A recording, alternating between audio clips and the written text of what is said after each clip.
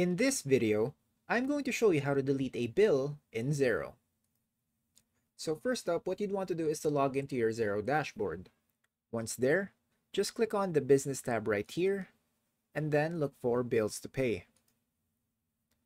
Now under bills to pay, we're going to be looking for either the awaiting payment tab or the paid tab. Now here we're just going to select the bill that we wish to delete. So for example, maybe Gateway Motors right here. We're just going to open this.